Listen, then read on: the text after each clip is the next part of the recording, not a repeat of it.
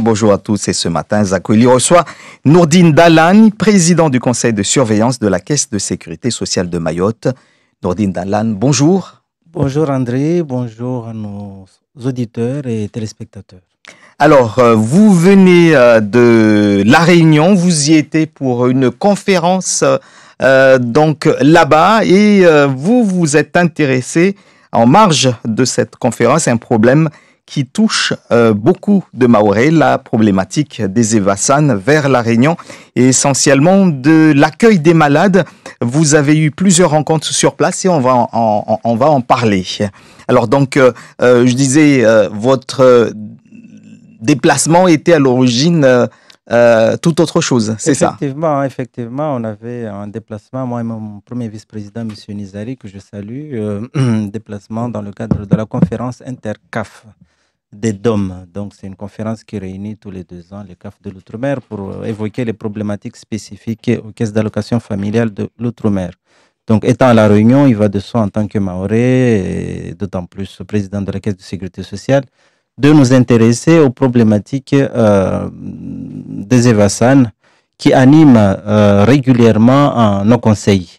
Donc c'était euh, pour nous une occasion d'aller toucher du doigt sur place comment nos concitoyens vivent cette, ce dispositif et comment les instances là-bas, l'hôpital de, de, Belle-Pierre notamment, euh, vivent ce, euh, dispositif et euh, quelles sont les, difficultés éventuelles qu'on peut essayer d'améliorer à notre petit niveau. Alors donc vous avez vu, vous avez vécu cette difficulté à travers des témoignages également de Maoré sur place, des patients mais également des familles.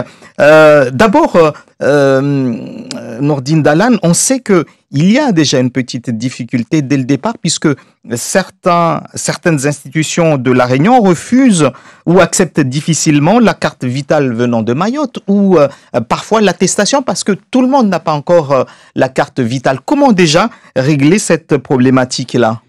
Écoutez, euh, pour nous, c'est plus un problème d'actualité parce que la carte vitale, elle est, on a la même carte vitale que tous nos compatriotes du national. Mm-hmm. Et s'il arrive à des prestataires euh, de, de le refuser, nous avons euh, mis en place sur place une cellule de liaison à l'île de la Réunion qui est là justement pour s'assurer de l'accès au droit à l'ensemble de nos assurés sociaux.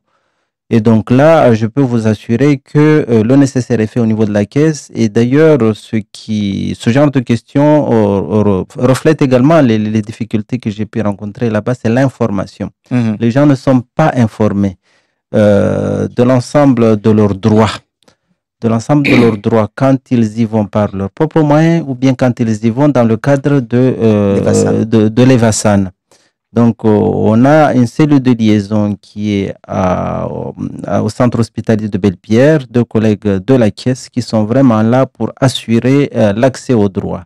Mais il y a vraiment, et je l'ai vécu, hein, mm. quand je n'avais pas ma carte vitale, mm. je présente mon, mon attestation et euh, on, me refuse l'accès puisque euh, normalement on est tous censés avoir la carte vitale. C'est un problème de euh, comment dire. ce problématique il peut se poser même à Mayotte. Quand certains professionnels de santé, vous n'avez pas la carte vitale, ils peuvent vous refuser l'attestation mhm. si parce que c'est des problèmes de facilité de gestion. Avec la carte vitale, le flux, le, le comment dire, l'acte le, est, euh, la communication est traitée de manière informatique entre le prestataire et euh, la, la, la, caisse de sécurité sociale. Alors que pour l'attestation, c'est une demande manuelle qui est faite auprès de la caisse de sécurité sociale et ça peut prendre du temps et euh, si jamais les droits ne sont pas à jour tel que c'est apparu sur l'attestation, euh, ça ne garantit pas auprès du professionnel de santé qu'effectivement euh, sa prestation sera payée. Donc c'est vraiment une affaire de confiance entre le prestataire de santé et la caisse de sécurité sociale de Mayotte. Mais bon, les, choses vont L'idéal c'est vraiment d'avoir la carte hmm. vitale. Oui, mais, mais quand on n'a pas la carte vitale, puisque parfois euh, on ne l'a toujours pas, euh, euh, on attend toujours cette carte vitale pour beaucoup d'assurés de, de, Mayotte. ils espèrent l'avoir, mais ce ne l'est pas le cas. Il y a aussi le problème de langue et de traduction pour les personnes non accompagnées. Ici à Mayotte, on peut ne pas parler couramment français, mais il y a toujours dans à, l'hôpital un, un, infirmier, une personne qui peut traduire que ce soit le kibushi ou le shimaure. Arrivé à La ce n'est pas le cas. Et parfois, ça peut être dramatique. Effectivement, ça fait partie des difficultés qui sont régulièrement remontées par les compatriotes que nous avons rencontrés là-bas.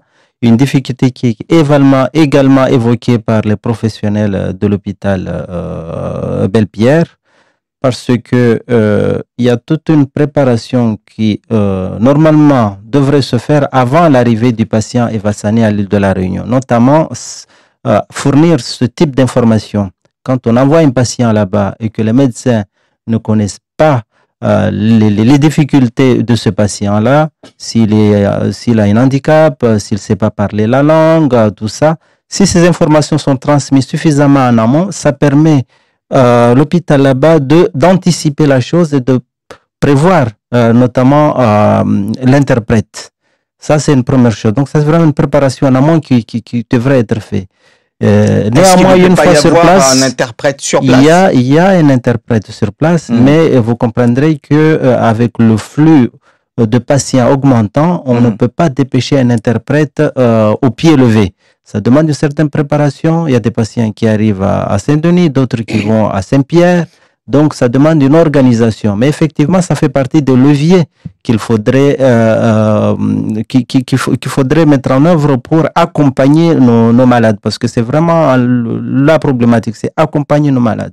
Et pour accompagner nos malades, plusieurs dispositifs peuvent être envisagés. Moi, j'ai euh, constaté qu'il y, y, a vraiment, euh, il faudrait vraiment activer le tissu associatif euh, à la Réunion. Parce que c'est pas la caisse de sécurité sociale qui va recruter un, un traducteur. Mhm. Le même problématique qui se pose ici à Mayotte. Euh, regardez une simple chose. Moi, j'ai été vraiment choqué quand un médecin me dit euh, on a un patient qui arrive ici, il ne sait même pas de quoi il souffre. On ne mhm. lui explique même pas au départ de Mayotte de quoi il souffre. Donc, il arrive là-bas, il a déjà du mal à s'exprimer, il ne sait même pas de quoi il souffre. Donc lui-même, il n'est pas préparé psychologiquement aux soins qu'on va lui, prodiguer. Donc il y a tout un travail d'accompagnement, aussi bien ici à Mayotte, une anticipation à faire, et de l'autre côté à, La Réunion, qu'on puisse avoir euh, à la fois euh, un dispositif d'accompagnement sur place, que ce soit au niveau de notre délégation à Mayotte. J'étais très ravi de voir vraiment qu'ils sont très très sensibles sur le sujet. Ils se mobilisent beaucoup on a beaucoup de bénévoles qui se mettent en place, mais il y a nécessité vraiment d'avoir un tissu associatif fort qui permette d'accompagner nos compatriotes, parce que ce sont nos compatriotes qui sont à la réunion. Donc, comme toute communauté, euh, il y a un tissu associatif qui pourrait les accompagner pour faire face à cette barrière de la langue, pour, dans le cadre de leur séjour, pour pouvoir les, les, accompagner au jour le jour, ne serait-ce que pour aller visiter des malades. Il y a des gens qui sont isolés dans des, euh, dans des logements. Ils n'ont pas de visite.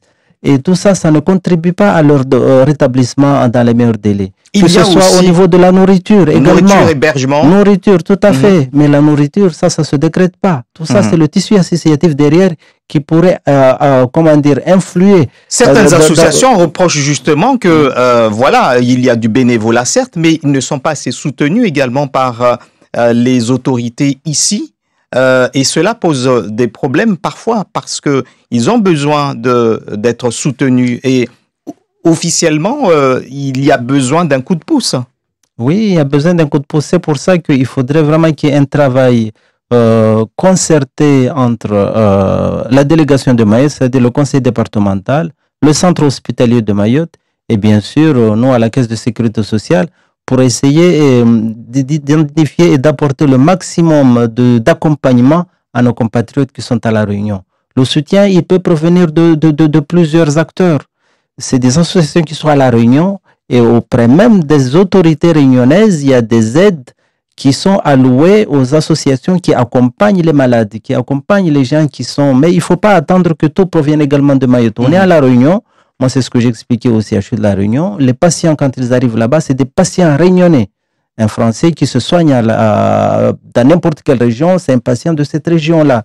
Euh, donc, il faut aussi que euh, le CHU, les instances réunions puissent accompagner nos malades. Et d'ailleurs, j'ai eu l'engagement auprès de, la direction du CHU que deux assistants sociaux seront recrutés, dont une parlant le chimaoré, pour accompagner nos concitoyens. Mais ça ne sera pas suffisant parce que euh, les difficultés sont nombreuses. On arrive là-bas, on est loin de tout. On a besoin de beaucoup plus d'attention que quand on est ici à Mayotte. Parce que bon, on m'a pas beaucoup parlé de souffrance quand on arrive à l'hôpital. Mais les souffrances, on les a déjà ici à Mayotte. Mais le fait qu'on soit à Mayotte, le ressenti est beaucoup, on est moins, on n'a pas le même niveau de sensibilité que quand on est isolé à l'extérieur.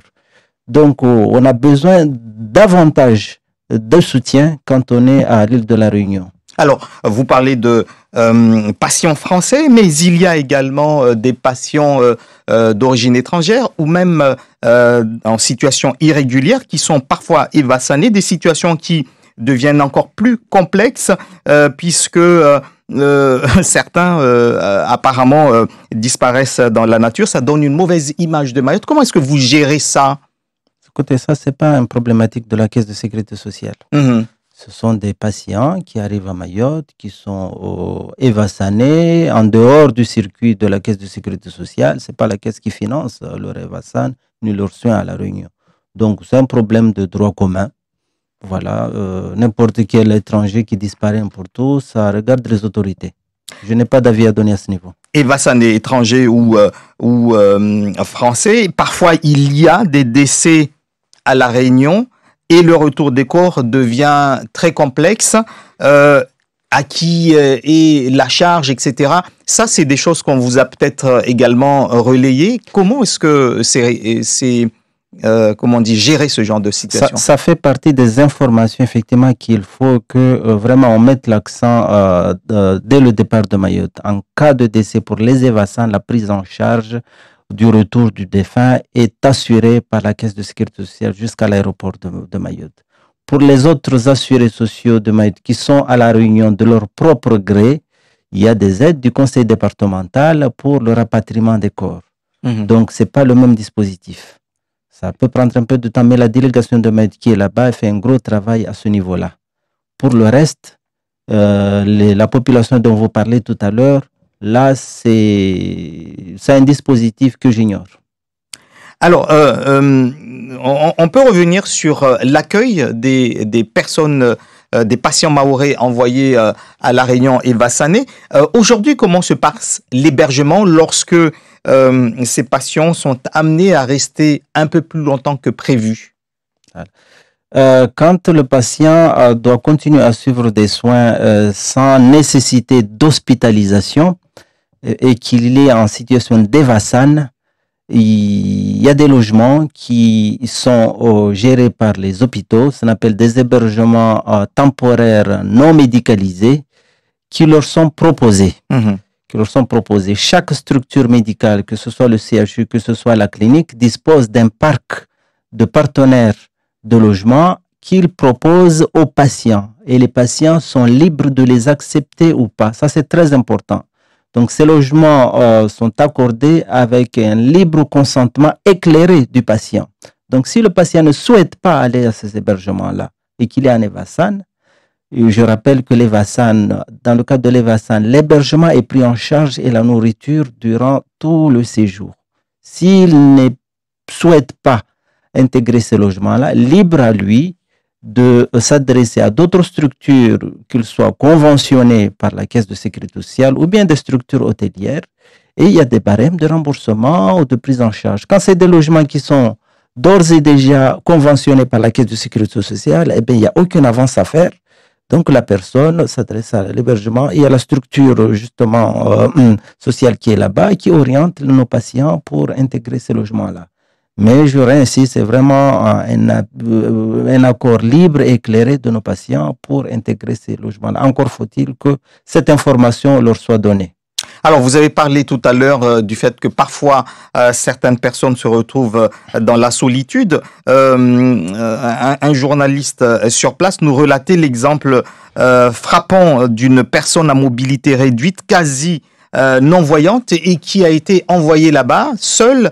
Euh, pourquoi est-ce qu'il n'y a pas un dispositif d'accompagnement dans des cas exceptionnels comme ça, d'un membre de la famille par exemple? Si, il y a un dispositif d'accompagnement. Mhm. Ce qu'il faut comprendre, c'est que la commission des Vassan, c'est une commission qui est indépendante. C'est elle qui euh, donne le feu vert sur l'accès à l'Evassan. Mhm. Le patient peut être évassané, il peut euh, ne pas bénéficier d'un accompagnement dans le cadre de l'Evassan. Il peut y avoir une demande ultérieure d'accompagner le malade euh, dans le cadre de l'Evassan qui peut être acceptée ou ne pas euh, être acceptée. Mais tant que cet avis médical n'est pas accordé par la commission d'Evassan, il ne peut pas rentrer dans le dispositif d'Evassan. S'il arrive effectivement, j'en ai été témoin de situations de personnes qui, ne sont pas autonomes et qui nécessiteraient un accompagnant sur place, que ce soit le conjoint, que ce soit le parent, et qu'ils n'ont pas pu bénéficier euh, de l'Evassan, il existe d'autres mesures euh, d'accompagnement social euh, au niveau de la Caisse de sécurité sociale de Mayotte, que ce soit des aides d'urgence d'accompagnement ou bien des aides individuelles euh, qu'on peut octroyer au, fil de l'eau selon les situations. Mais idéalement, effectivement, euh, l'accompagnant euh, serait la mesure la plus appropriée, mais il ne nous appartient pas d'apporter du jugement sur des décisions médicales. Merci beaucoup, donc, Nourdine Dalan, d'avoir été l'invité de Zakuli. Je rappelle que vous êtes le président du conseil de surveillance de la Caisse de sécurité sociale. On avait encore beaucoup de questions. On aura certainement l'occasion de vous euh, inviter à nouveau ici dans Zakoli. Merci. Je vous remercie.